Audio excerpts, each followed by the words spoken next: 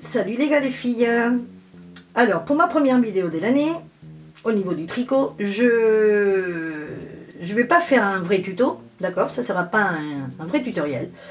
Je vais juste vous montrer, enfin vous, répondre on va dire, vous, vous montrer quelques, quelques petites choses. Parce que bon, j'ai fait un peu le point par rapport à, à tous mes vidéos depuis que j'ai fait euh, des vidéos du tricot.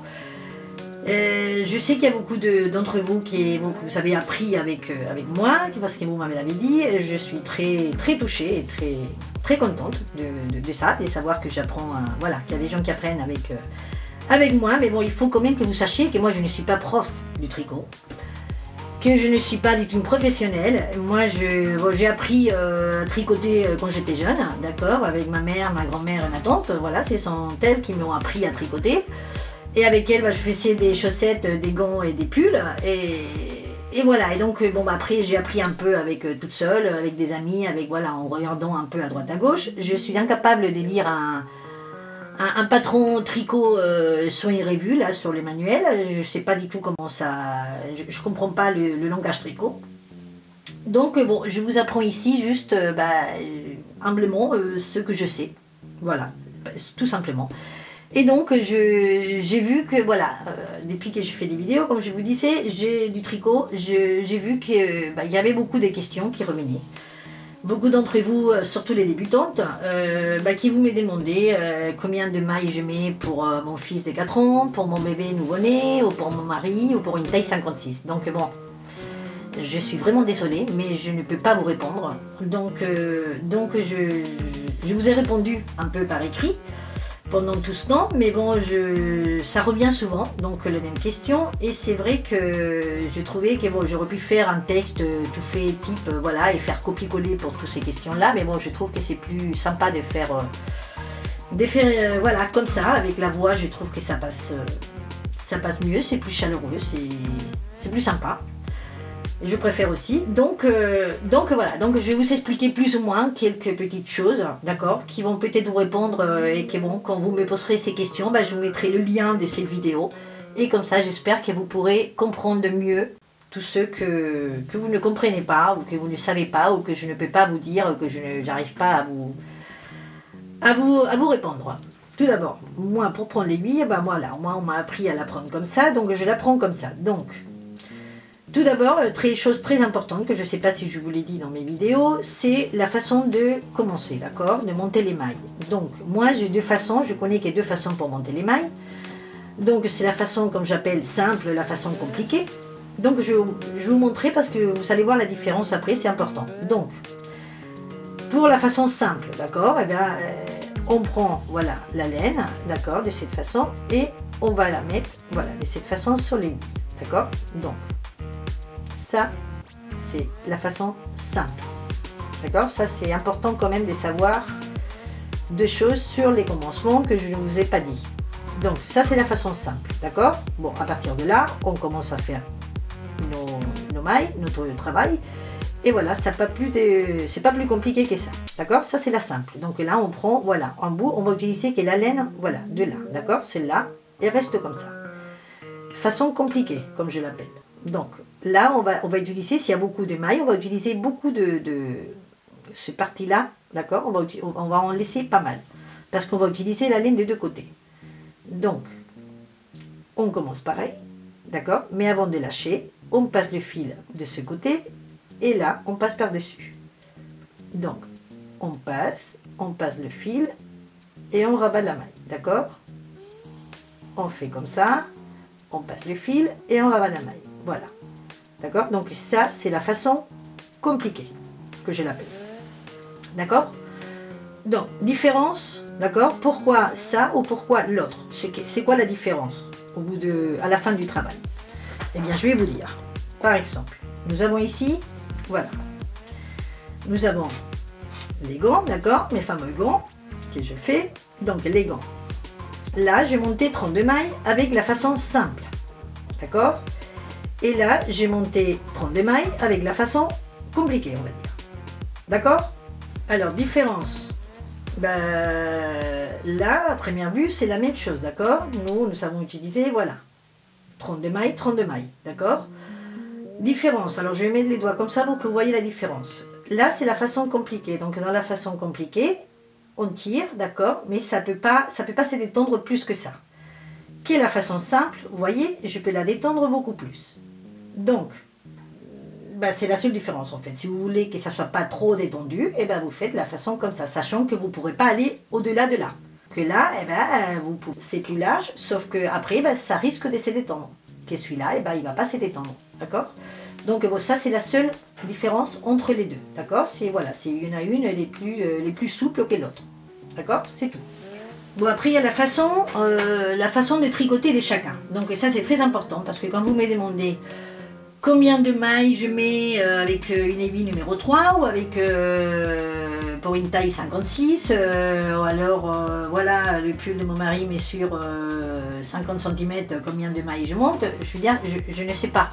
Je ne sais pas, franchement, je ne sais pas parce que comme je vous disais tout à l'heure, je ne suis pas professeur, je ne sais pas lire les catalogues, les patrons, tout ça, euh, je sais pas. Donc moi je fais du sur-mesure. Donc euh, bon voilà, moi on m'a appris que si tu veux monter des gants, et eh ben, tu sur le tour de ton poignet, et tu fais un échantillon et tu calcules à partir de là. Donc la vidéo pour calculer, vous l'avez sur ma chaîne.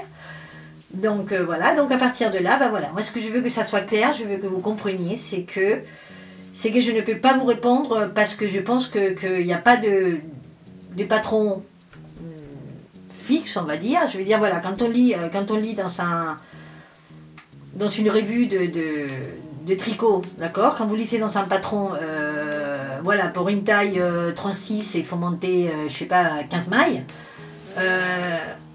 selon ce que vous allez faire, je veux dire, euh, oui, ça donne une idée, on va dire. Mais après, selon chaque personne, selon la façon de tricoter de chaque personne, euh, ça va pas donner la même chose. Hein? Ici, par exemple, je vous dirai après pourquoi je pense ça.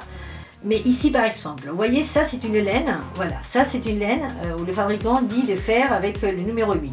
Donc le numéro 8, c'est ça. Et moi, avec du numéro 8, j'ai fait 10 mailles. Voilà, j'ai monté 10 mailles et j'ai fait avec du numéro 8. C'est ça, d'accord Donc, c'est ce que le fabricant me conseille. Alors, vous voyez, c'est souple. C'est, voilà, moi, je tricote souple. Donc, c'est très, voilà, c'est très large. Sûrement que si vous, vous tricotez avec la même laine et la même aiguille, ça ne donnera pas la même chose. Parce qu'on tricote tous différents. Donc ça, c'est ce que je fais avec le numéro 8. Mais après, parce que vous voyez la différence, j'ai pris du numéro 5 et je fais ça. C'est pareil, c'est 10 mailles d'accord Avec la même laine, mais tricoté avec le numéro 5. Vous voyez, c'est plus serré, c'est plus, euh, plus dur, c'est plus serré, c'est plus compact. D'accord Alors, c'est pas seulement que c'est plus souple, c'est moins souple. La différence, elle n'est pas tout à fait là. Elle est surtout que quand on va calculer, d'accord Avec le numéro 5, mon échantillon, messieurs, avec 8 mailles, je fais 7, 7 cm. Avec le numéro 8, d'accord 10 mailles, je fais 9 cm. Donc vous voyez, il y a 2 cm de différence. C'est énorme. Je ne sais pas si vous vous rendez compte, mais c'est énorme. Quand on fait des gants, c'est énorme 2 cm de différence. Ou quand on fait n'importe quel travail qu'on fasse, d'accord? Donc, donc c'est ce que je veux que vous compreniez, c'est que je ne peux pas vous répondre. Donc quand vous allez me poser la question dorénavant, euh, combien de mailles je monte pour euh, mon nouveau-né? Mais je ne sais pas, madame. D'accord? Je, ne sais pas, je suis désolée. Eh ben, tu, tu prends la laine que tu veux utiliser, tu prends euh, les aiguilles que tu veux utiliser. Donc pour la layette, bah, c'est de la laine toute fine et des aiguilles toutes fines. Et à partir de là, tu fais, vous faites un échantillon. Et à partir de là, eh ben, vous calculez. Je ne peux pas vous dire mieux. Alors, euh, un tuyau que je vous donne pour euh, calculer quand vous voulez faire, par exemple, pour un bébé que vous n'avez pas de bébé sous la main. Hein, pour calculer. Ça peut, ça peut arriver. Eh ben, moi, ce que je fais, c'est que je prends, en général, si je vais faire un pull, ben, je prends un pull à moi qui ressemble plus ou moins à la taille que je veux, si je veux large ou si je veux plus étroit, et eh ben, je prends un pull, je mesure le pull, enfin le, bas du pull, et à partir de là, je calcule. Euh, les manches, ben, on prend le, poignet. Les chaussettes, on prend la cheville. Les gants, on prend la poignée. Hmm, après, comme je vous dis, si vous voulez faire pour un enfant de 3 ans et vous n'en avez pas un sous la main, eh bien, eh bien, moi, conseil que je vous donne, euh, d'accord, c'est système D. Eh bien, vous prenez votre mètre, vous allez, euh, enfin pas celui-là, un peu plus petit quand même, et vous allez dans un magasin, d'accord, d'habits, et vous allez à la taille 4 ans, à la taille 6 ans, à la taille 10 ans, eh ben, vous mesurez si vous voulez faire un pull ou si vous voulez faire euh, ce que vous voulez faire.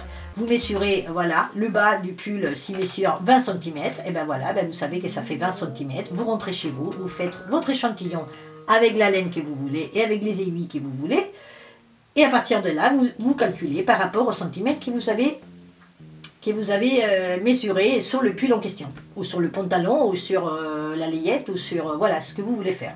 Chacun fait du tricot et tricote d'une façon différente, qu'il faut faire un échantillon. Donc, donc voilà, quand vous me poserez la question, je vous enverrai un lien ici pour que vous voyez cette, cette vidéo d'information. Donc j'espère que j'ai répondu à tout et qu'il faut que vous compreniez que ce n'est que pas que je ne veux pas vous répondre. Je suis désolée si je n'ai pas répondu à certains d'entre vous. Des fois, c'est vrai que je ne vois pas tous les commentaires, tous les messages que vous m'envoyez. Mais bon, il faut que vous compreniez que, euh, surtout, je veux que ça soit très clair, c'est que chacun, hum, je pense que chacun fait euh, fait les choses d'une façon différente. Et donc, euh, ça ne, il ne peut pas y avoir un patron, un patron de vie. C'est comme quand on fait une recette de cuisine, je pense. Hein, je vous donne l'exemple parce que je pense que c'est comme ça. Quand on fait une recette de cuisine, quand on a mangé un plat très bon chez la copine, chez le copain ou dans le restaurant, et eh ben on demande la recette ou on la cherche pour la faire. Et, finalement, quand on la fait, ben, elle n'est pas pareille ben, ben, c'est normal. Pour moi, c'est normal. Je veux dire, pour moi, les recettes des cuisines, ça sera jamais pareil parce que parce que c'est pas les mêmes ingrédients, parce que c'est pas la même façon de faire, c'est pas la cuisson, elle n'est pas pareille. Je vais mettre un feu doux alors que tu vas mettre au feu fort. Le feu doux de du électrique, ça va pas être le même que le feu doux de gaz. Euh, l'huile ne va pas être la même, euh, ou la farine ne va pas être la même, les œufs ne vont pas être le même, donc évidemment la recette ne sera pas pareille. Donc là, pour moi, c'est exactement la même chose. Chacun tricote d'une façon différente. Euh, les aiguilles, pourvu que le fabricant voilà, qui a fait celle-là, bah, le numéro 5, elle diffère un petit peu du fabricant qui a fait votre aiguille numéro 5, donc ça va pas être la même grosseur, la laine c'est pareil. Donc je veux dire, je, ne peux pas. Voilà, c'est personnalisé, c'est chacun doit faire son échantillon. Et à partir de là, calculer. Donc voilà, j'espère que ça vous a servi à quelque chose avant de finir, très important, je voulais vous dire quelque chose sur les gants. Alors je sais que je sais que vous avez, certains d'entre vous, les débutantes surtout, vous avez eu des problèmes. J'ai vu en conclusion de toutes ces vidéos-là et de toutes vos questions, vous avez eu des problèmes par rapport aux, doigts. Voilà, surtout les doigts. Les gants, c'est les doigts qui posent problème. C'est vrai que c'est pas évident à comprendre au début. Donc, euh, j'étais en train de vous faire une, vidéo, euh, voilà, avec ces gants-là. Voilà, j'avais fait une vidéo pour vous montrer, pour vous donner, euh, voilà, un autre, un autre, une autre idée, enfin un autre tuyau, voilà, pour faire les doigts plus facilement et l'expliquer plus facilement. Mais bon, j'ai des problèmes techniques, donc bah, ma vidéo, je ne vais pas la faire. Donc, du coup, je vais refaire une autre. Je vais refaire des gants et je vais, voilà, pour vous montrer juste les gants, voilà, juste au niveau des doigts, d'accord? Donc euh, j'espère que ça sera plus clair pour celles qui ne, comprennent pas. Et, et, bon, et ben voilà, donc euh, j'espère que, voilà, j'espère que, ben, que cela vous a servi à quelque chose. Et que c'est pas que je ne veux pas vous répondre, voilà, comme je vous disais, mais c'est que je, je ne peux pas faire mieux parce que je ne sais pas faire mieux. D'accord? Donc bon, j'espère en tout cas vous revoir. Enfin, j'espère vous retrouver sur ma chaîne. Et, euh, et bon, je vous attends dans ma prochaine vidéo. Au revoir, à bientôt